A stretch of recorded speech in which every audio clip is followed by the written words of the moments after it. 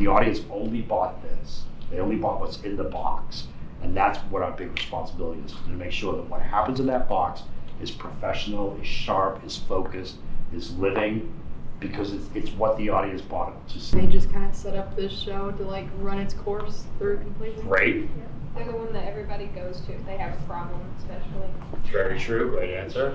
Um, just make sure like keep uh, everyone entertained and like make sure the show goes on no matter what happens.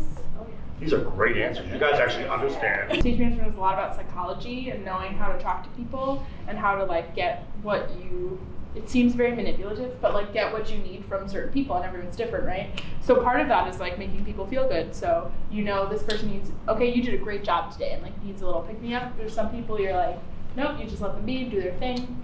A lot of our job is like we um, you know, people who don't sign in or people who come in late and dealing with that. And we also have a very similar philosophy about accepting who people are, right, as actors instead of like constantly fighting them. Mm-hmm. But I think part of it is knowing when you're like, okay, no more, you're not gonna be late anymore, we're gonna work on this and help them get what you want, right? Instead of just sort of chastising people or stuff like that. They keep everything in track and online and constantly going with no hiccups during the rehearsal and actually performing it in front of the audience itself.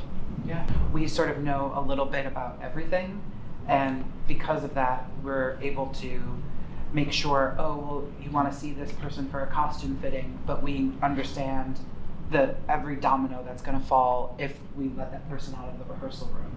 And so we are, on the one hand, very administrative when we're in rehearsal or even in performance and then we also know when technical things are going wrong, like when lights don't look correct, or when the costumes are sort of in a something's happened, or um, when you have a new person that's in the show, how to talk to an actor who's having trouble with a scene, or things like that.